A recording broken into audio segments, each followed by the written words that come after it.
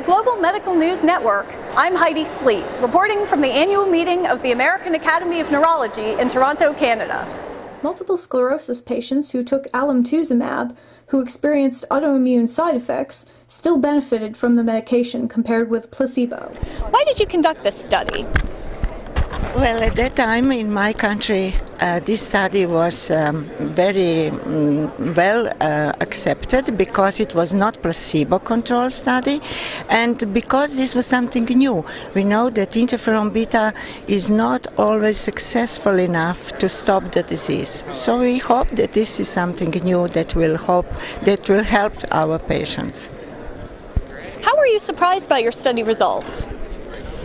Well, I must say we were all very surprised, patients and uh, doctors, because you know when we started the study, those who received interferon beta were jumping from joy, and after one year, those patients who received alemtuzumab were jumping from joy, because they didn't have any signs of disease uh, in this year. They have um, uh, they were very good condition. Uh, their relapses uh, were not evident, and even what is uh, more important, their baseline um, disability improves. Uh, so they didn't have any signs of disease anymore. What are the clinical implications of your results?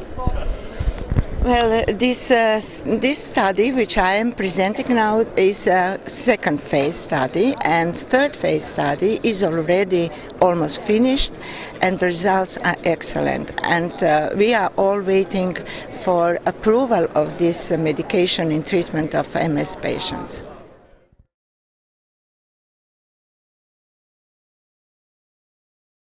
For Global Medical News Network, I'm Heidi Splete.